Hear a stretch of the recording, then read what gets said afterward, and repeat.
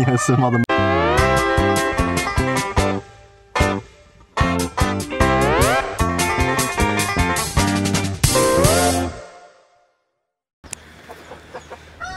Evet arkadaşlar, bugünkü Gurk pazarına hoş geldiniz. Evet. Benim değişimde Gurk pazarına döndü artık bizim kümes. O yüzden sizlerle bu durumu paylaşmayı düşünüyorum. Paylaşacağım şimdi hep birlikte. Bütün gurkları ve civcivlerini sizlere göstereceğim. Artık kına geldi. Önüne gelen gurk düşüyor. Aynı zamanda gurk düşenleri zaten zorla kaldırıyorum bazılarını. Çünkü bu kadar gurka yerim yok. Ama yine de düşenleri değerlendiriyorum. Öncelikle videoya girişinde şunu söyleyeyim. Sultan tavuğumuzun gurku işe yaramıyor arkadaşlar. Yumurtalar altında tutamıyor. Sürekli soğuttuğu için ne yazık ki kaldırdım. Sürekli her gelişimde 3 tane yumurta dışarıda, bir tane yumurta altında. Hiçbir zaman tam anlamıyla bir yumurtanın birkaç yumurtayı alıp da altına yatmıyor. O yüzden sıkıntı yaşıyoruz. Şimdiden hepinize teşekkür ediyorum ve başlıyoruz sizlerle birlikte bütün gruplarımıza ve kümesimizdeki bu grup pazarını sizlerle paylaşalım. Porselen ligorinler grup düşmüyor. Ağız soruplarımızda da bir gurk yok. Ama böyle geldiğimiz zaman ilerledikçe burada kele dahi gideceğiz. Gurk tavuklarını saymaya başlayalım. Hem sayalım hem gurk tavuğumu, gurk pazarımızı sizlerle paylaşalım. İşte alın size gurk pazarımızın sadece bir kısmı arkadaşlar. Buradaki gurk tavuğumuz bir. Bu e, en yenisi. Kümesimizin şu an en yeni gurk tavuğu ve çok sayıda civcivi var kendisinin. Hanımefendimiz Ligorin kırması bir tavuktur arkadaşlar. Ve bu tavuğumuzun civcivleriyle birlikte geçirdiği vakitleri hepimiz çok seviyoruz. Ben çok seviyorum açıkçası. Anne tavuk çok ilgili, yavrularına karşı dikkatli hareket eden, üzerlerine basmamak için uğraşan, ne bileyim bir sürü etkenle dört dörtlük bir kurt tavuğu diyebilirim. Anneliği iyi beceriyor gibi görünüyor. Tabi bu durumu ilerleyen vakitlerde daha iyi anlayacağız, daha iyi gözlemleyeceğiz. Ama şimdilik durum bundan ibaret arkadaşlar. Kurt tavuğumuz Ligorin kırması, beyaz ve tatlı bir anne.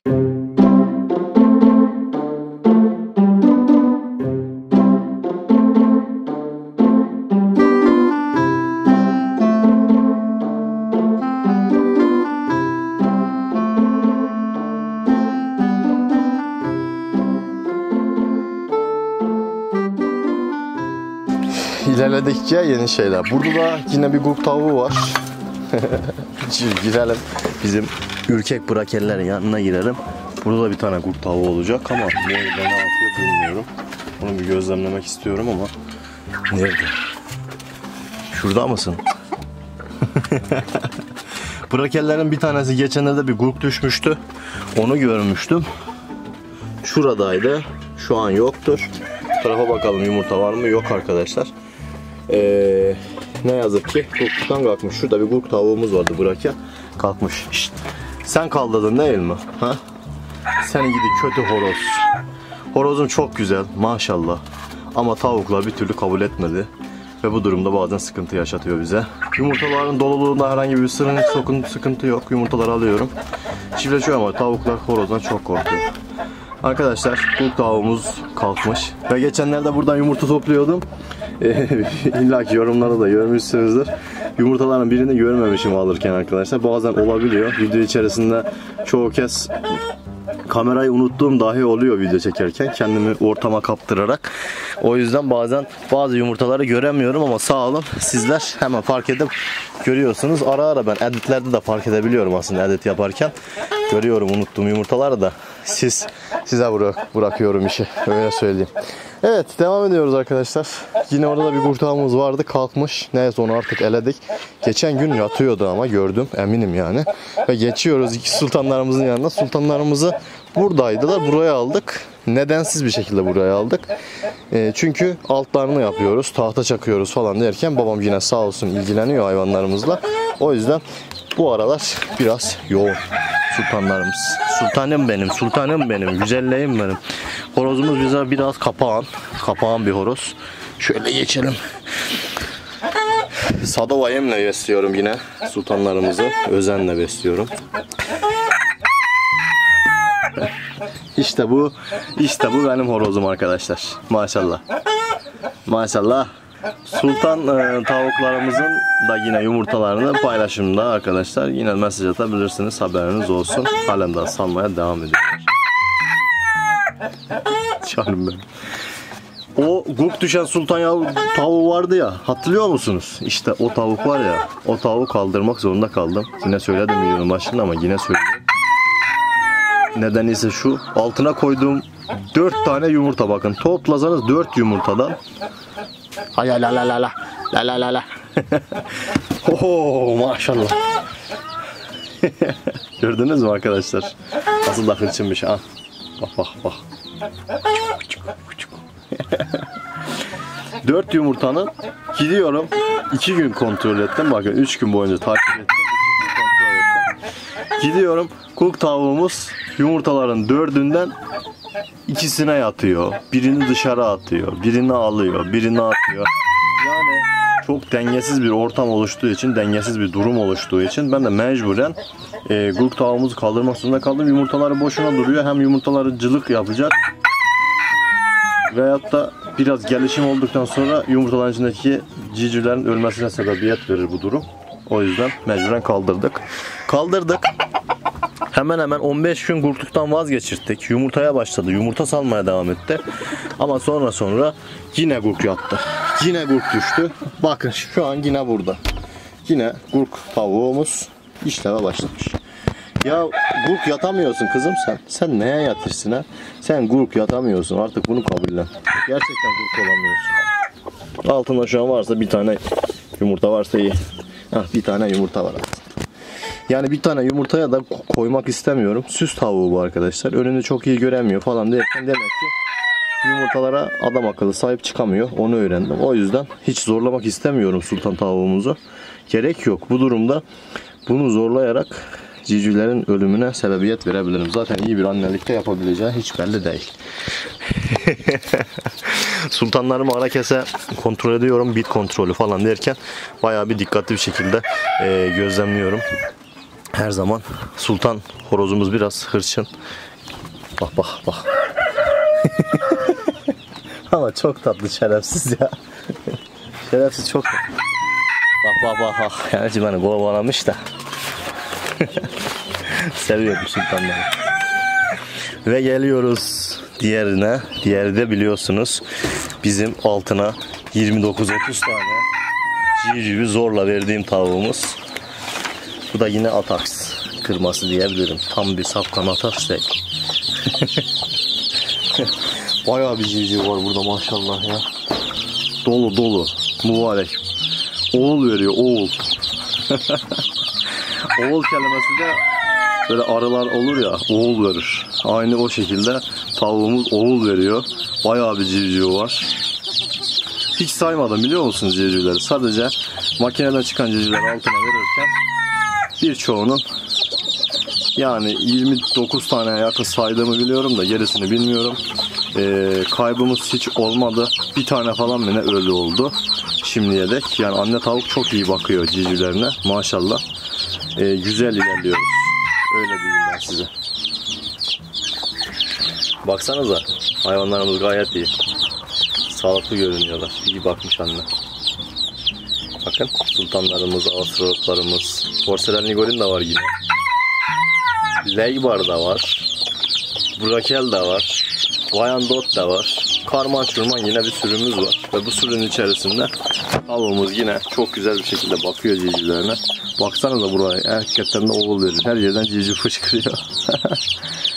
Genel itibariyle çok sık bir şekilde anne civcivler ısıtmaya çalışıyor. Bunun nedeni ise çok fazla civcivin olması. Çok fazla civciv olunca da kimisi üşürken, kimisinde bir sıkıntı olmasa dahi üşüyen civcivleri altına almak zorunda hissediyor kendini hayvanımız. Bu durumda önemli bir faktör diyebiliriz.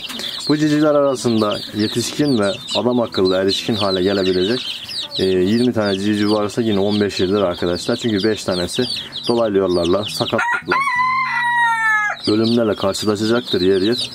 E, o nedenden dolayı artık Allah'ın izniyle hayırlısıyla inşallah kısa zamanda, kısa zaman derken uzun bir zaman diliminde umarım güzel sonuçlarla karşınızda olacağız. Hayvanlarımızın hepsini tabii ki temellimiz ondan yana, hepsini kocaman yapmasından yana ama bakacağız artık duruma göre. Ve bu videomda bir bilgi daha vereyim sizlere arkadaşlar. Civcivlerimizde mesela bu ara ben de çok görüyorum. Dışkılarda bir sıkıntı görüyoruz. Ee, sıkıntı şundan kaynaklanabilir. Hava şartları, sıcak soğuk, aniden soğuma, aniden ısınma veya da çok sıcak, kuru hava gibi etkenler bu durumu etkiliyor. Hem de çok etkiliyor arkadaşlar. Aynı zamanda yedirdiğiniz yem, içirdiğiniz su dahi bu topalardaki e, dışkı sı- sıkışmasını, dışkının e, yapışmasına neden olabiliyor. O yüzden sizlere tavsiyem bu durumlara çok dikkatli bir şekilde gözlemleyerek tedbirlerinizi alın. Öyle güzel açmıyor. Şunun açılmasına bak. Maşallah. Ay canlarım.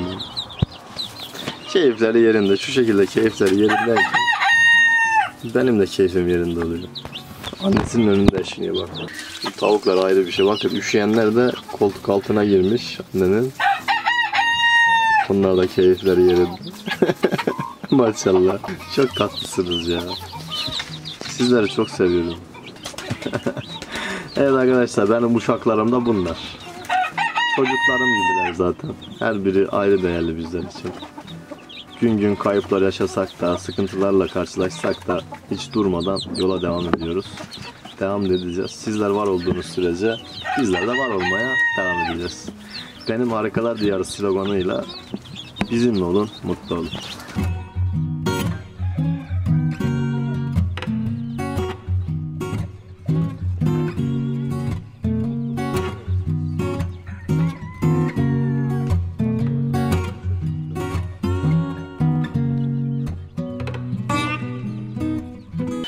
Çıkalım artık. Geç gidip bakalım başka gruplarda nerede var. Hakikaten ama tam bir grup pazarına döndü bizim kümes. Her yer grup dolu. Grupların yine birkaçını yatırmayı düşünüyorum. Neyse uşaklar. Grupta da yatıracağım olacak. Bunlarda bir şey yok. Yine e, Vayandok söz vermiştim hatırlıyorsunuz değil mi? Grup düşerse yatıracağım demiştim. Evet. Vayandotlarımızın birisi yine grup düştü. Ah, ah gördünüz. Bir de ısırır var ya bak. Isırla. Niye ısırmadım bu sefer? Geçen sefer öyle ısırmıştı kelime. Bir tane yumurta var altında. Şimdilik alıyorum bu yumurtayı. Zaten bir tane tavuk olduğu için salıyor. Ee, söz verdiğim gibi grup yatıracağım. Tabi bu durumu sizlere paylaşacağım. O yüzden arkadaşlar takipte kalmayı unutmayın. Çok yakın zamanda altına dizeceğim. Biraz daha ısınsın. Daha yeni düştü çünkü. Bekliyorum. Biraz daha ısınsın. Bunu gurk yatıracağım. Söz verdim. Bunları işaretleyeceğim ve yatıracağım. Burada yatıracağım hem de gurku. Hiç dışarı çıkartmayacağım. Evet bir gurk tavuğumuz da burada. Kendisi gurk düştü. Maşallah diyelim ona da başka gurk tavuğumuz var mı? Şurada bir tane görünüyor. Fiziko sen gurk musun kızım? Büyük ihtimalle bu da gurk. Evet ama fizik olarak gurk yatırmayacağım. O iş geçti. Bir kez denedik. Civcivlerine hiç bakamıyor fiziko. O yüzden o şansını kaybetti. Benim zamanımda kaybetti o şansını. Daha o şansı vermem ona. Çünkü civcivlerin canı önemli arkadaşlar. Mecbur altından alıp karıştırmak zorunda kalıyoruz başka yerlere. Ve son olarak kurt tavuğumuz ve civcivlerini burada görebilirsiniz. Bu da bizim Sussex'e benzeyen budun yavrusu. Brakel yavruları. Bir tane de sultanı var biliyorsunuz. Arkadaşlar bugünkü bu grup pazarımızda sizlerle güzel dakikalar geçirmeye çalıştım. Hem gruplarımı gösterdim. Bayağı bir grup var. Civcivleriyle birlikte olan gruplar ve yatmaya çalışan gruplar var. Tabi ilerleyen zamanlarda havalar ısındıkça bu durum daha da değişken gösterecek. Daha fazla tavuğun grup düşmesinden korkuyorum açıkçası. Hiç yumurta salacak tavuk kalmayacak sanırsam. Bu durumu sizlerle güzel bir şekilde paylaşmaya çalıştım. Grup pazarımızın yeni bölümlerini kaçırmamak için kanalımıza abone olmayı unutmayın ve ekranda çıkacak yeni videolara gidebilmek için ya sol taraftadır ya sağ taraftadır. Yeni ve güzel içeriklere gidebilirsiniz. Kendinize çok iyi bakın. Diğer videolarda görüşürüz. Hoşçakalın. Bay bay.